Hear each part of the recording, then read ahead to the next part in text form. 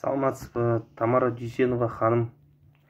Өзіңіз білесіз мына қоғамдық ақылы жұмыс істейтін біздің еліміздің азаматтары жаңағы көше сыпырып жүрген және тазалыққа жауапты болып жүрген және тағы да басқа жұмыстар атқаратын азаматтарымыз бұрын 90 мыңға жуық айлық алатын. Міне ә, қазір олар 60 мыңнан астам ғана айлық алады. Неге? Өтініш осы видеоны сол апайымызға жеткізсеңіздер ханымға. Тик ток бар ватсап бар басқа да әлеуметтік желілер бар. Мен ресми жауап күтемін сізден. Осы еңбек және халықты әлеуметтік қорғау министрлігінен немесе тамара дүйсеновадан. Себебі білесіз қазір қымбатшылық азық түліктің бағалары қымбат. Ә, осы ақылы қоғамдық жұмыс жұмыс істейтін азаматтарымыздың жұмысы оңай емес азаннан кешке дейін.